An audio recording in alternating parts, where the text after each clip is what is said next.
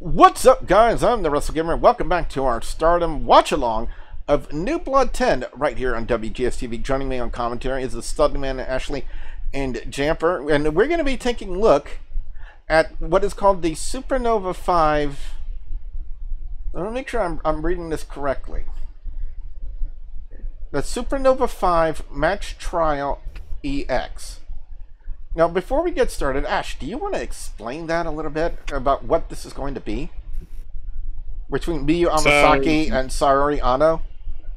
Miyu Amasaki, being uh, the newcomer to the promotion, uh, was set to go through basically a trial series of matches against, you know, the the the top stars to sort of prove her worth, like uh, hone her skills, if you will, inject passion, if you will.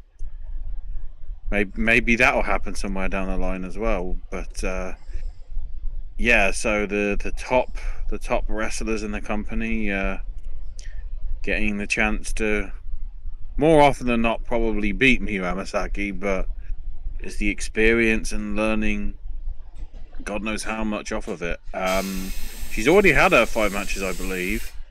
So EX shows you that this is, I guess, match six or maybe match seven of Amasaki's uh, run of her sort of gauntlet, if you will, Wasn't matches. wasn't her last match supposed to be against Azumi for that?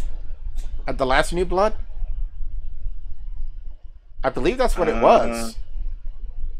I think yeah, and I can't. I think I can't remember if it happened or not because there was there was one. Well, Mi- Miyu she was due Amasaki and show up I- in Gatoh Move. But I, I, I'm telling this Um, for certain because I watched New Blood 9 and it, there was a match with Miyu Amasaki and Azumi.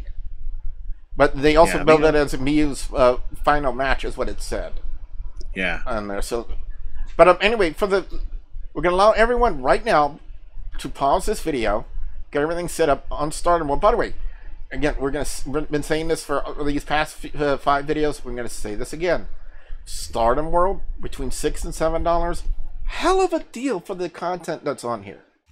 A hell of a deal for the content that is on here. Be sure you guys check it out. Again, six to seven dollars a month. You can't beat that. You can't beat that. But we're gonna allow everyone right now to pause this video. Okay, now we're gonna assume that you guys have unpaused it and you guys have everything synced up and you're ready at zero. So here goes for the watch along countdown. In five, four, three, two, one, and go.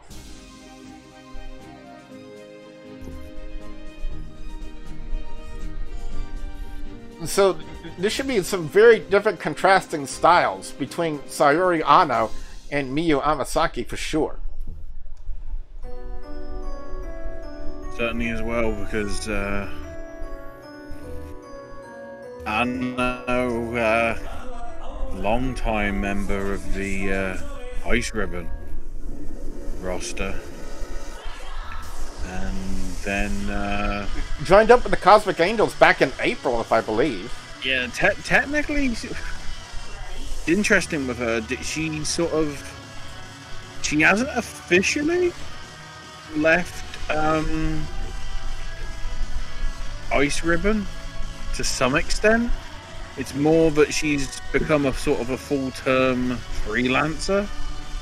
But with everything that sort of happened and everything, it does seem like whether she's going to become a stardom full on full time member or, or will remain independent but just affiliated with Cosmic Angels, which to be fair is something that Cosmic Angels are used to.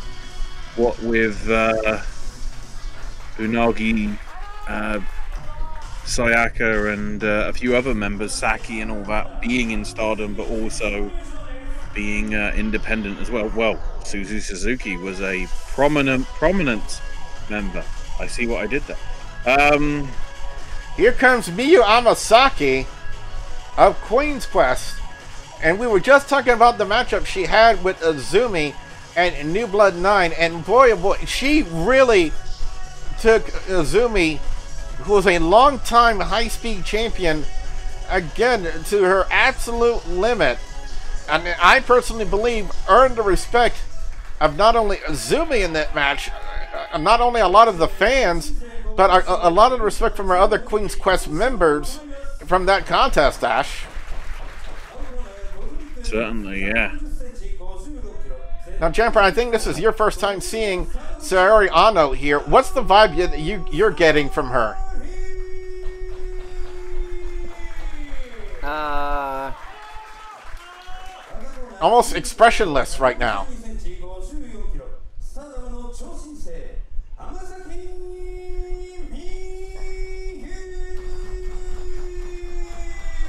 21-year-old Miyu Amasaki, by the way.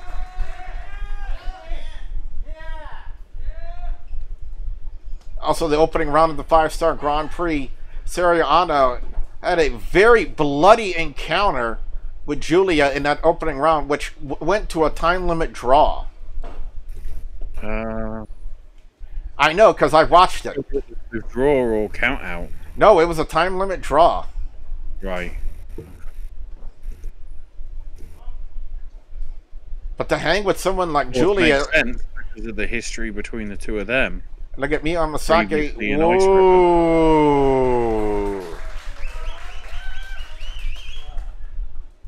Um, oh, that was almost an act of disrespect to Amasaki, and then scores a drop kick. And they're going in for the handshake for the code of honor, and instead just kind of condescendingly grabbed the trin of, Sa- of Saori, and Saori didn't take too well to that. Oh, there's a big boot by Saori. I'll tell you what, right now, the last person I would want to make mad in this match, Jamper, is one Saori Anou because she is very, very vicious. I mean, look what she's doing right now to Miyu Amasaki. And then she hung with Julia to a time limit draw. Despite despite being bloodied from the onset of the match, she still hung with Julia, who was known to be a very violent, very strong competitor in her own right. Let's see right I now. don't remember whether it was Saori or Julia that got the upper hand in their stuff in Ice Ribbon. I'm not sure. Look, now figure know, for it. Certainly in previous promos, Julia was expressing her as sort of a spectre from her past, and know, if if, if, somebody that's on the level of Julia is around, uh, they're somebody that has to be considered a threat, not just within the tournament, but just in this match itself. A tough one for Miyu Amasaki to uh, try and get a win here for sure.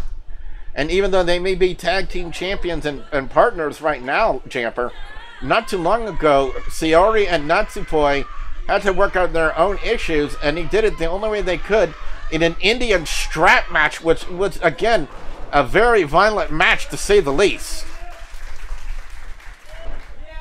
It was saw Saori Anou picking up the win, but they did say after that match was over that whatever beefs they, that they had between each other were kind of quashed. Nice dropkick right there by Miyu Amasaki.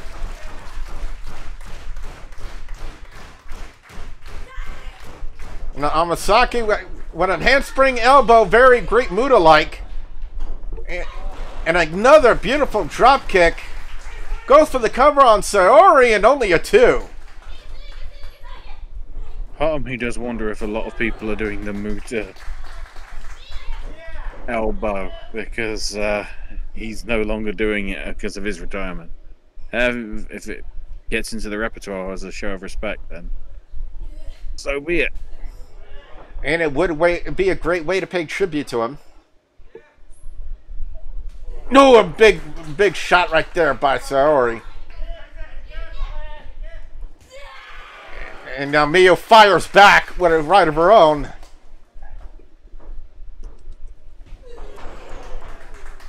And Jamper, we've said it before and we say it again. Women in Japan hit hard. I mean, look at these, look at these hits between these two, between Saori and Miyu Amasaki. And now Amasaki just taking it scores the DDT. We hope you guys have been enjoying this watch along with our commentary. And don't forget the main event of Stardom New Blood 10, Rina defending the future of Stardom Championship against Waka Tsukiyama of, of Club Venus. Fisherman's Fisherman suplex with a bridge and only a two count. And now look at that transitions from that suplex bridge. Oh god, into that straight jacket submission. Almost a cross X submission. Just trying to cut off that carotid artery. Make it difficult for Miyu Amasaki to breathe. That's going to be a very torturous submission hold right here, Jamper. I mean, look at the bend.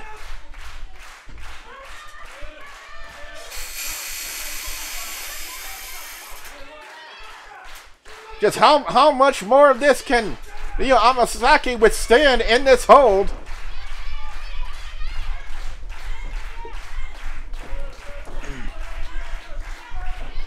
Well, nearly at the ropes. And she's also got a waist lock on with her legs. Again, making it doubly hard. Well, now they're in the Um, ropes.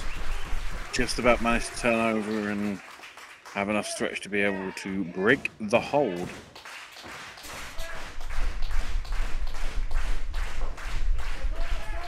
But you know that's not going to deter Saori Anou one bit. She's Oh, for sure. yeah, she has ascended to the top rope, off the top rope with a beautiful missile drop kick. And then casually goes in for the cover on Amasaki and only a two count. Five minutes past. Five minutes past.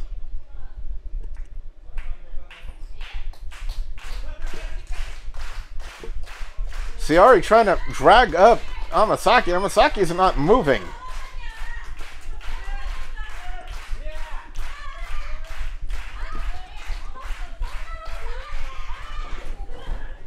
Oh, but apparently Saori, after grabbing Amasaki's hair, kind of wakes her up, and now Amasaki with the rapid fire elbows right to the chest cavity of Saori Anou.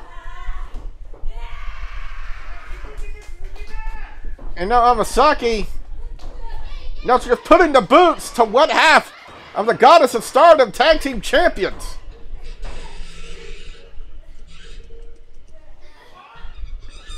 This would be a huge victory for Miyu Amasaki. where a po- a possible, po- uh, maybe a potential future tag team title ma- uh, match in store for Miyu Amasaki and Queen's Quest. If she possibly could get a win here tonight, Ash. Uh, there's a chance. Now Amasaki just unrelenting with those elbow strikes.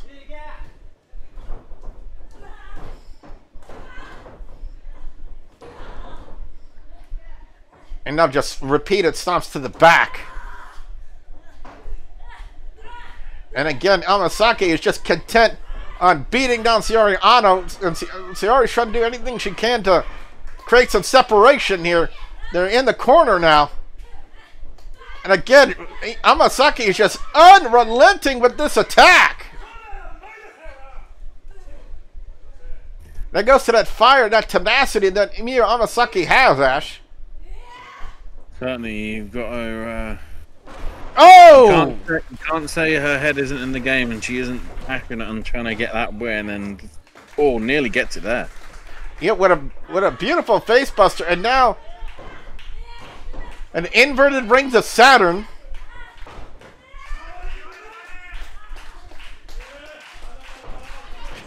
She has both arms grapevine and she's got a hold of the neck.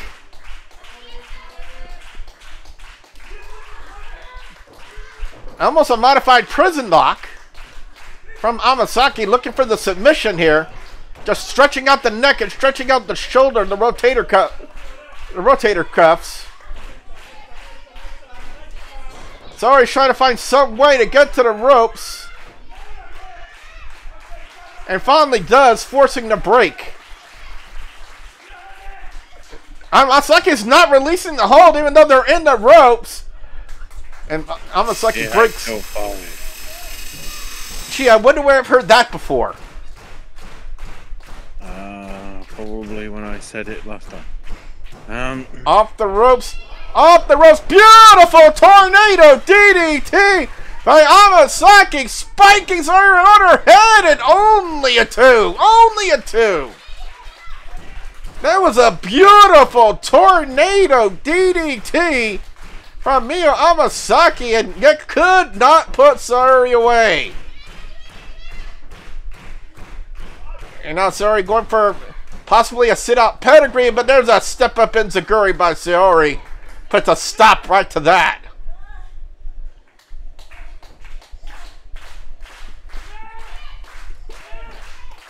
And now Saori with a handful of hair pulls Amasaki back up to a vertical base. Thinking maybe a possible germ. Oh, what a shot right to the jaw of Saori and and now Miyu Amasaki pendulum DDT.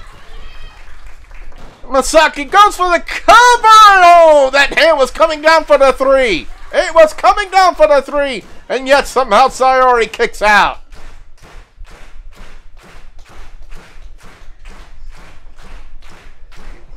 And now Amasaki Hammerlock DDT.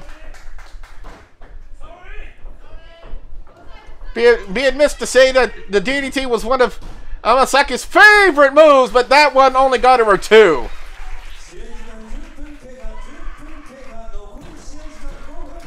Ten minutes have passed in this match. Five minutes remain.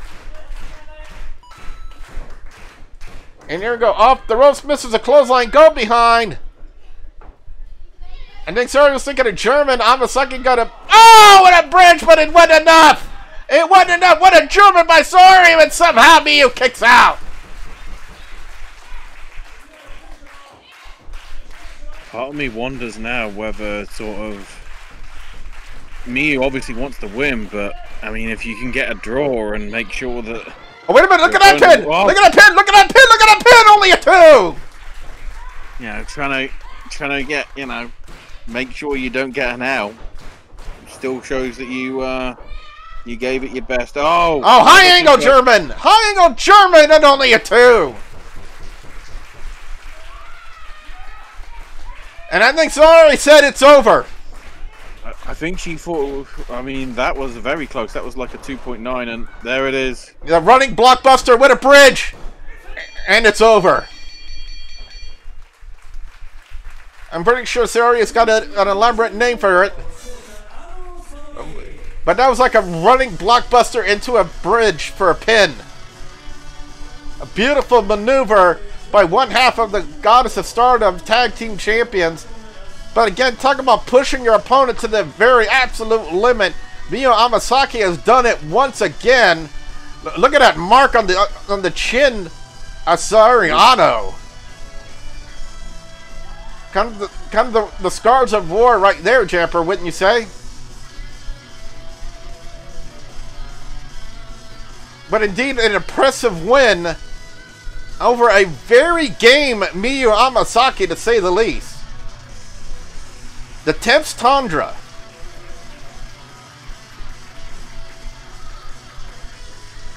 Or as we say here in Louisiana, the Tom Tundra.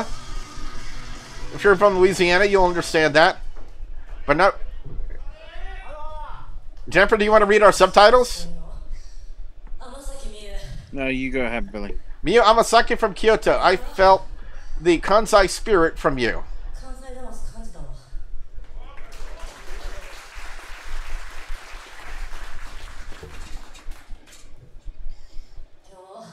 Today, I felt hope from Miyu. You should be proud, Amasaki. I agree with that statement. I agree with it.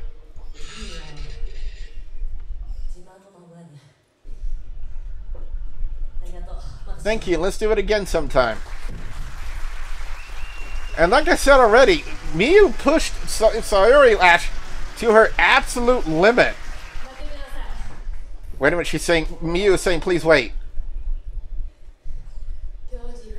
Miyu said, today, today I'm really happy that I could fight Anou. Thank you.